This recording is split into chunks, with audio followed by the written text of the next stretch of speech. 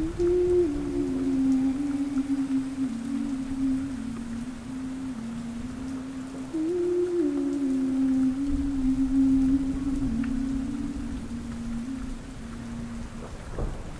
Louisville Mansion. My encounter in an old mansion in Louisville, Kentucky, is something that I still can't fully explain. I had moved to Louisville for work and heard stories about the city's historic district being home to some of the most haunted places in the state. The mansion in question, a Victorian era building, was known for its eerie past and supposed paranormal activity. I got the chance to visit the mansion during the local heritage event. The house was impressive, with its Gothic architecture and antique furnishings. During the tour, our guide shared stories of the original owners and various reports of ghost sightings, including the apparition of a woman in a Victorian dress seen wandering the halls. As the tour proceeded, I lagged behind, taking in the details of the house. When we reached the upper floors, I felt a sudden drop in temperature. It was a warm day, and the house didn't have air conditioning, so this sudden chill was unexpected. In one of the bedrooms, I stopped to look at an old portrait. That's when I heard a soft whisper, almost like a sigh, right next to my ear. I turned around quickly, but no one was there. The rest of the group was in the next room, and I was alone. Feeling unnerved, I hurried to catch up with the others. As the tour ended and we were about to leave, I decided to use the restroom on the first floor. Walking down the hall, I saw a figure out of the corner of my eye. It was a woman, dressed in a long flowing gown, similar to the Victorian style our guide had mentioned. I assumed she was part of the staff or an actor hired for the event. She didn't look like a ghost. She looked fully fleshed out, just like anyone else. I called out to her, asking if I could ask her about the history of the house, but she didn't respond. She simply walked toward the end of the hall and then vanished. I rushed to see where she had disappeared, but there was no one there, and there was no exit she could have taken. It was literally a dead end, no pun intended. I left the mansion in a complete state of disbelief. I couldn't shake the feeling that what I had experienced was something far out of the ordinary.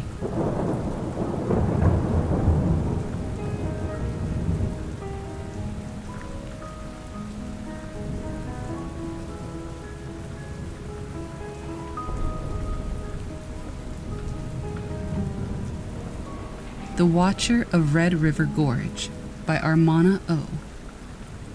My encounter in the dense, shadowed woods of Red River Gorge in Kentucky was a chilling experience that still lingers in my memory. Known for its breathtaking natural beauty, Red River Gorge is also steeped in local folklore, with tales of mysterious creatures and unexplained phenomena. I was on a weekend camping trip, seeking solitude in nature's embrace. The gorge, with its towering cliffs and winding rivers, seemed the perfect escape. On my second night, as I sat by the campfire, the forest around me was alive with the sounds of nocturnal creatures. It was well past midnight when I first heard it a soft, rhythmic tapping, like someone knocking on wood. I assumed it was a woodpecker or some other animal, but the sound was persistent, growing louder, closer. Curiosity piqued, I grabbed my flashlight and ventured into the woods. The tapping led me deeper into the forest, away from the safety of my campsite.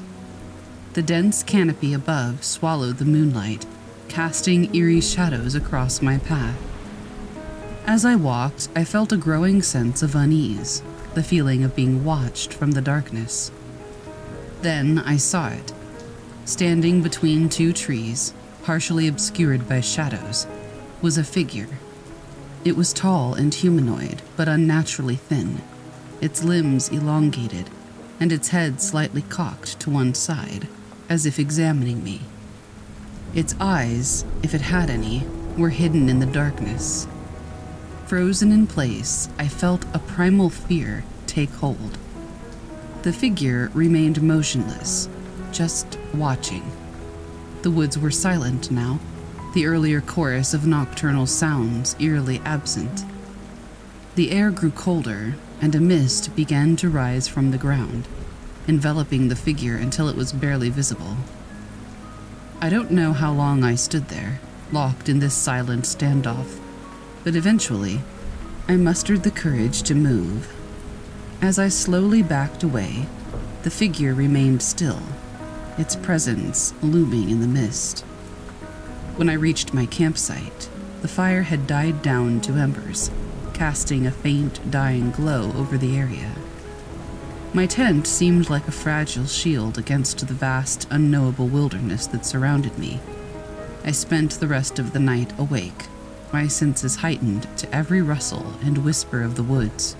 I half expected to see that figure emerge from the shadows, but the woods remained silent, as if holding its breath.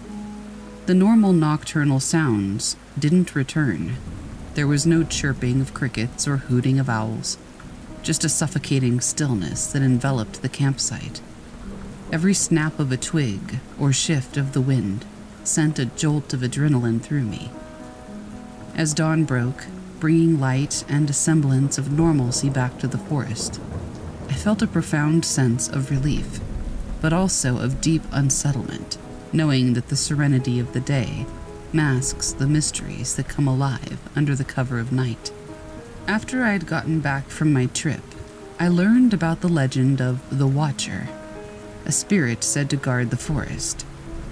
It was believed to appear to those who ventured too deep into the woods, a reminder to respect the wilderness.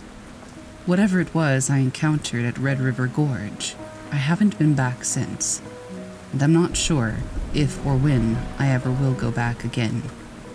I just can't get that creature out of my head.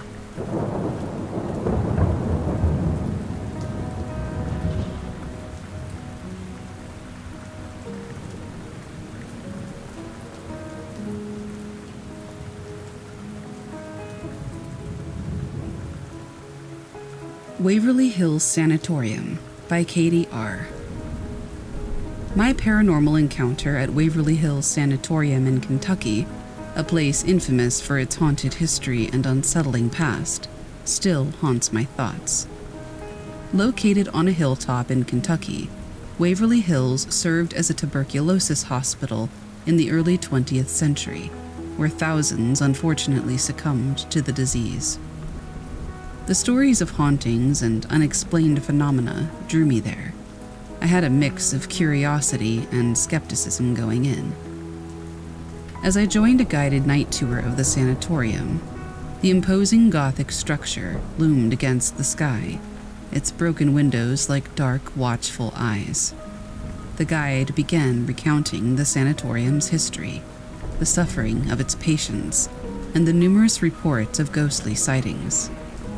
We made our way through the dilapidated halls, the air heavy with the weight of untold stories.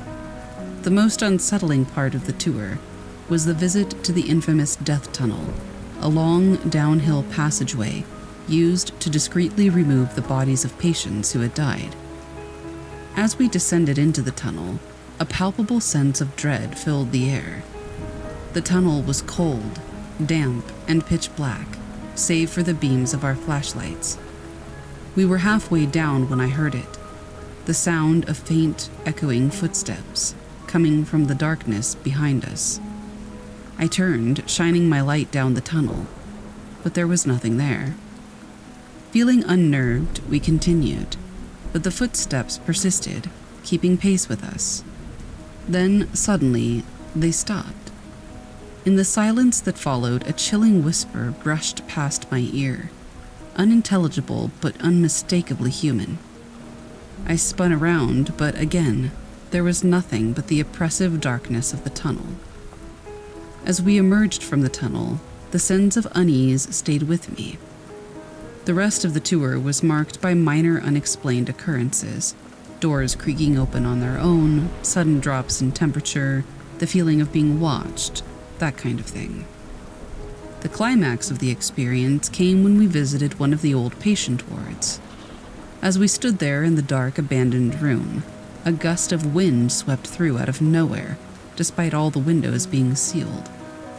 Then, the beam of my flashlight caught the fleeting image of a figure dressed in what appeared to be a hospital gown, moving across the room before disappearing into thin air. More than one of us saw this. The encounter at Waverly Hills Sanatorium was more than just a ghost tour. It was a brush with something unexplainable, a peek into what lies beyond. And honestly, I came out a believer. In what in particular, I'm not entirely sure. But there's something after this world.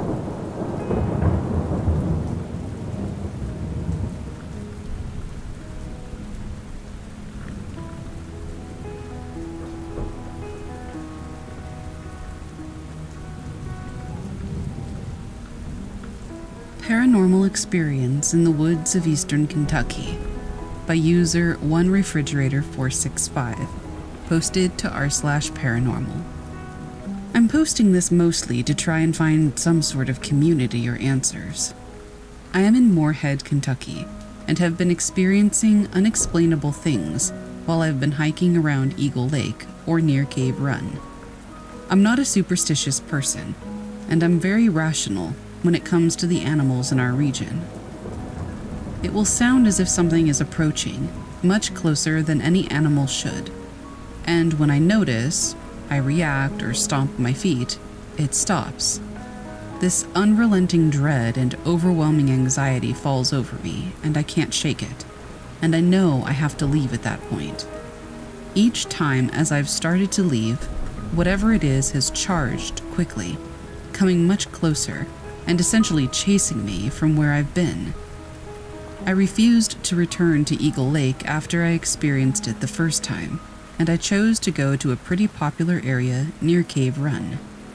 The same exact thing has happened more than once. I have not been able to shake the feeling. I have definitely been the only one in the area on both occasions, and there have been no animals nearby. Definitely not ones large enough to make the sounds that I've heard. My girlfriend has been with me on each occasion and has heard and felt the same thing as me.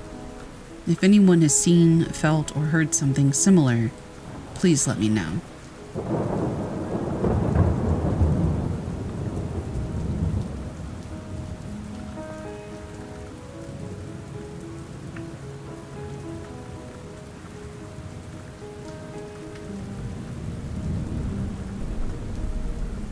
The Burned Man Upstairs by user Kentucky Witch 0828, posted to r slash paranormal. This story is from a while back, before I moved to my current home. In 2016, my mom and I moved into a very old home. Over the few years we lived there, we had quite a few experiences, but the most notable for me personally was the incident of where I came face to face with the burned man upstairs. It was a weeknight, and I had school the next day. At around midnight, I went to bed, which was a bit early for me at the time. A few hours later, I woke up drenched in sweat. My fan was turned off. Annoyed, I rolled over to turn it back on, and I looked up at my door, noticing that it was open. The door opened a little bit more, and a strange looking nude man was standing before me. He seemed abnormally tall. I'd say almost six foot. His head was nearly touching the door frame, and his skin appeared off, similar to somebody who's received a skin graft after being burned. It appeared visibly tacky and wasn't very pleasant to look at, but its face was even worse. The skin on its mouth seemed to have been drawn back, exposing the gums fully, and one eye seemed far too small, and the other far too large. Whatever this was, it just stood there in my doorway, looking at me. It smiled after it made eye contact with me. To this day, I can't tell you why I responded this way. I get grumpy when I first wake up, and this was no exception. Basically, I told this thing to F off and rolled over and fell back asleep. After turning my fan back on, of course. That morning, my door was still open, but nothing was there. I went into full panic mode, the reality of it all having finally settled into my awake mind, and I refused to sleep up there for weeks. It didn't help much that by that point I had a lot more stories from that house. Some things to consider. This home was once a funeral home, which did have a fire a long time ago. I'm not sure if anyone was hurt or killed in this fire or not. I always sleep with my door closed, and I remember closing my door that night. It was a bit finicky, however, as there was no lock. And due to the house shifting, if you stepped on a certain floorboard, it would pop open. However, this almost always wakes me up, and I would have noticed it. At no point did I feel threatened during this encounter, despite its strange appearance. I have a respectful fear of the paranormal. Out of all the other experiences in this house, this was the one time that I did not feel scared or creeped out by a paranormal event. I never talked about it after the first time it happened, and nobody but my mom knew until now. My mom's friend and their little boy moved in. Despite nobody telling him about what I saw, he would wake up screaming in the dead of night, and whenever we would check and ask him what was wrong, he would talk about the tall man with the weird face.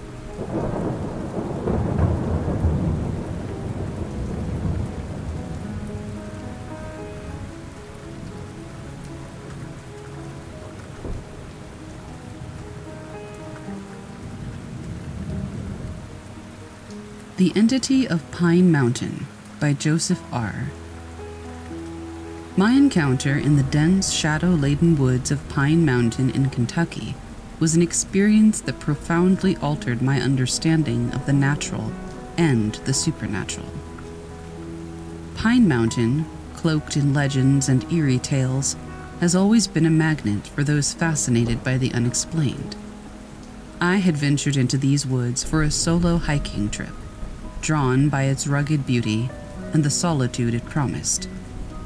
The first day passed without incident, filled with the tranquil sounds of nature and the scenic views of the Appalachian landscape. As night fell on the second day, I set up my camp near a small clearing.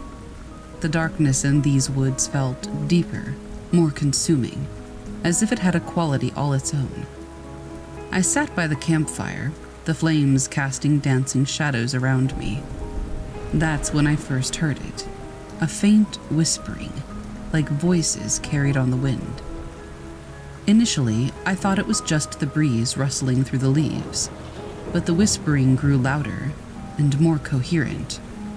It sounded like a conversation, but in a language I couldn't understand.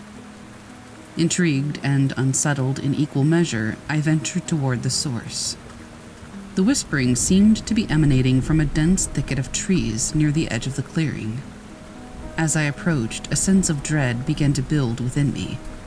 The air grew colder, and a mist began to rise from the ground, swirling around the trees. And then I saw it a shadowy, formless entity amongst the trees, its shape shifting and undulating as if made of smoke. It was the source of the whispers, which now sounded almost chant like, a chorus of ethereal voices that filled the night air. Rooted to the spot, I felt an overwhelming sense of, I don't know, unearthliness. The entity seemed ancient, as old as the mountains themselves, and its presence was both terrifying and mesmerizing. I couldn't decipher the words, but the whispers evoked images of times long past, of lives lived and lost within the woods. As quickly as it had appeared, the entity vanished, the whispers dissipating into the night with it. The sudden silence was almost deafening. I hurried back to my campsite, my heart pounding away in my chest. I spent a restless night, jumping at every sound, every crackle of a branch. The woods felt alive, aware and watchful. As dawn broke, I packed up quickly, eager to leave the oppressive atmosphere of the clearing. Later, at a nearby town, I recounted my experience to a local at a bar. I thought he would laugh it off, but he told me about an old legend, a spirit of the mountain, said to communicate with the living, offering glimpses of ancient wisdom and warnings. My encounter in the woods of Pine Mountain was a journey into the unknown, a brush with something that defied explanation. I still don't know what it was, whether it was the spirit that man told me about, or whether it was something else entirely. But I feel like I touched the other side, and this side hasn't quite felt the same since.